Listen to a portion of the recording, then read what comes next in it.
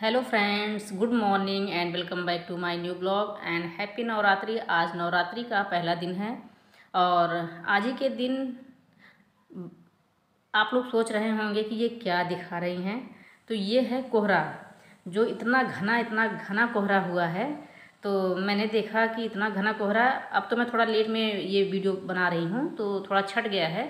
वरना पाँच बजे इतना घना कोहरा था कि कुछ भी दिखाई नहीं दे रहा था। तो मैं चली आई हूँ छत पर थोड़ा वॉक करने के लिए और थोड़ी सी मैंने रिकॉर्डिंग भी करी हुई है और आप लोग देख सकते हैं कि इतना ढेर सारा कोहरा पड़ा हुआ है। तो लग रहा जैसे कि ठंडी अभी ही आ गई है और ठंडी तो नहीं आई है अभी, पता नहीं कोहरा है कि बारिश की वजह से धुआँ है मतलब जो भी होता हो, वो है। तो चलिए अब मैं चलती हूँ नीचे, नहाऊँगी, पूजा पाठ करूँगी, साफ़ सफ़ाई करूँगी।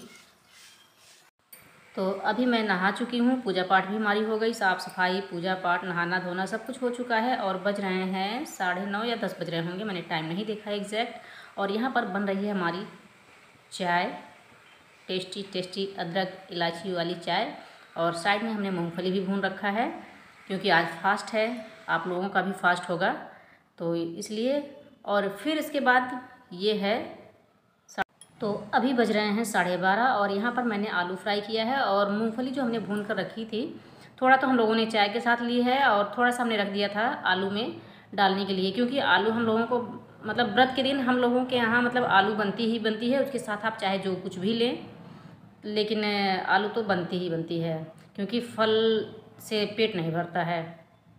तो इसलिए हम लोग आलू फ्राई करते हैं, उसके बाद चाहे आप बनाना शेक ले लीजिए, चाहे शरबत नींबू वाला बना लीजिए, जो आपकी मर्ज़ी हो।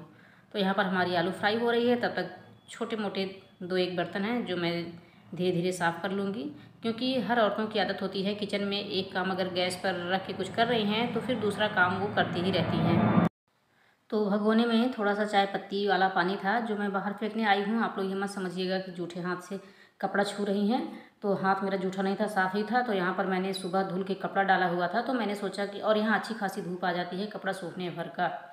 तो मैंने सोचा कि अब कपड़े भी उलट दें, जो थोड़ा बहुत भीगे होंगे वो सूख जाएँगे।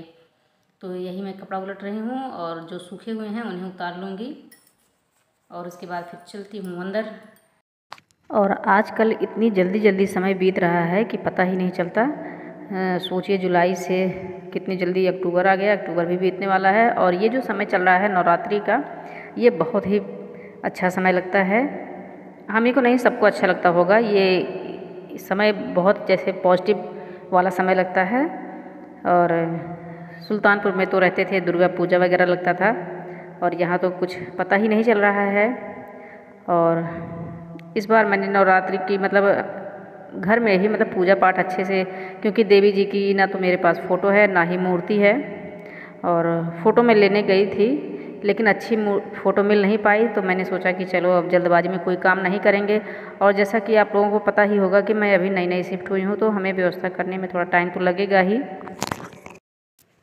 और यहाँ पर देख सकते हैं कि आलू फ्राई हमारा तैयार हो चुका है, हम लोग नाश्ता करने जा रहे हैं। और मैंने मॉर्निंग से ही वीडियो स्टार्ट किया था। और सुबह बहुत ढेर सारा कोहरा पड़ा हुआ था तो मैंने सोचा कि आप लोगों को भी दिखाएँ। और अभी आज नवरात्रि का पहला दिन है, आप लोगों को नवरात्रि की ढेर सारी शुभकामनाएँ। तो दोपहर में नाश्ता पानी करने के बाद सो गए थे थोड़ा। तो अभी वो उठे हुए हैं छः बज रहा है और चल रहे हैं। अब नहा कर पूजा वूजा करके फिर किचन का काम करेंगे। और अभी शाम हो चुकी है, चल रहे हैं आपको बाहर से दिखाएँगे। बनाएँगे साबुदाने की टिक्की और आप लोगों के साथ रेसिपी शेयर करेंगे। और अभी शाम हो चुकी है। बाइक कैमरे से दिखाते हैं आप लोगों को।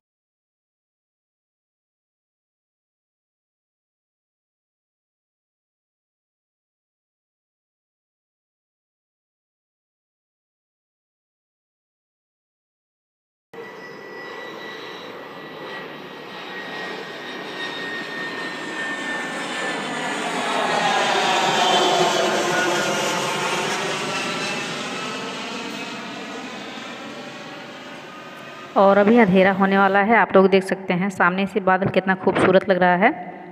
हल्का हल्का सा पीला पीला। और चलिए अब चलते हैं नीचे, अपना काम धाम शुरू करें। तो यहाँ पर मैं आ गई हूँ किचन में और मैं थोड़ी सी झलक किचन की दिखाती हूँ आपको कि कितना एकदम मैसे मैसे हुआ है। तो चलिए वीडियो को हम यहीं पर समाप्त करेंगे। अगर वीडियो पसंद आई हो तो प्लीज़ वीडियो को लाइक, शेयर, कमेंट और चैनल को सब्सक्राइब कर लीजिएगा। और फिर मिलेंगे आप लोगों से नेक्स्ट वीडियो में। तब तक के लिए बाय बाय टेक केयर